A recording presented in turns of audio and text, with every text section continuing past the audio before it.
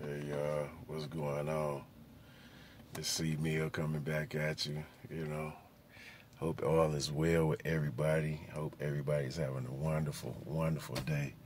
It's here, it's Friday, but it's raining in Detroit, so you know, it's cool though because it's been hot. It's been super, super hot. So this rain cooling us down, slowing everything down because everybody's getting a little, a little restless. You know, you know how I get when it get hot. Everybody start wilding out. So, so everything's all good. But uh, you know, I still want to continue with the narcissistic box because it's so crafty the way they do it with the box thing and the way they box you out, man.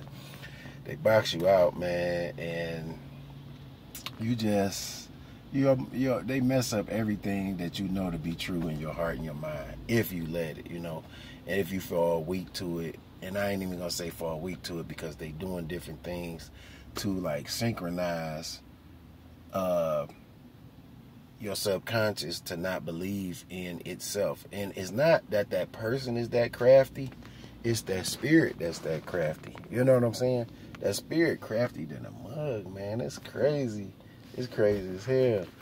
But, you know, through the grace of God and the power of the Holy Spirit and Jesus Christ, man, you could beat all of that, you know. So, hey, you know, it's just something you got to put like an effort to. Just like anything else in life, you got to put an effort to it, man. You know what I'm saying? Because the narcissist, man, what it is is they not like a whole person. You know what I'm saying? It's it's like uh, kind of like how Avatar was you know, Avatar, they had, uh, you know, you go into the machine and you control the other person. And it seemed like it's reality, but it's not reality. You know what I'm saying? Because that's not really your life. You know what I'm saying? You trying to tap, you like, it's basically like you living somebody else's life. Because when he got in the machine to do it, to go be the other person in the blue world, you know, it wasn't his real life. You know what I'm saying?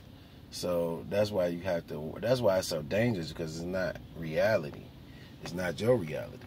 You know what I'm saying? It ain't even a reality because they living in demonic essence and demonic spirits is attacking them and they don't even know it. They didn't gave in to it so bad to, you know, they don't even know what's right and wrong. So I mean, you know, you definitely know you can't trust them. You can't put your trust in them.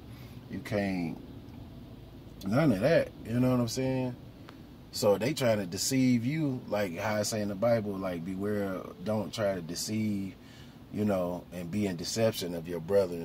You know, you can't do that, and that's what they all about. It's all about deception. You know what I'm saying? You like, damn, I thought you was going to the store and coming right back. Shit, they don't. They gone for an hour because they had to go see, holler at their check in on their other supply and try to go chin check him. So they ain't just trying to do it just to you I'm telling you, they doing it to three and four people, different people at one time.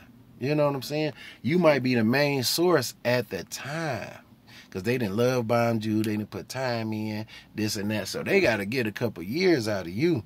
But guess best believe, just in case you might miraculously wake up out the blue and just know it's a lot of bullshit, they got other supply on deck just in case just in case. And, and with supply, they sadistic. So you know how like you have sex and then you have orgasm like that.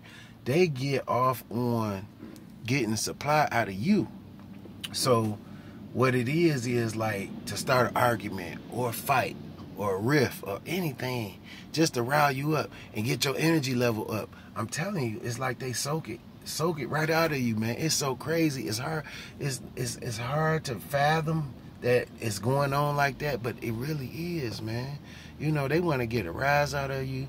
They want to get something, get your energy level up, you know, but it's all done in a, in a sequence to like brainwash you at the same time. You know what I'm saying? That's what I'm saying. It's hard for just a human, especially most of these nurses, they really stupid. You know what I'm saying? That's why they gave in to the demons in the first place. Because they dumb and they don't study. It say study to prove themselves. They don't read their word. They don't put the time in with God. They don't pray. They don't do none of that. So they really kind of slow. You know what I'm saying? So, you know,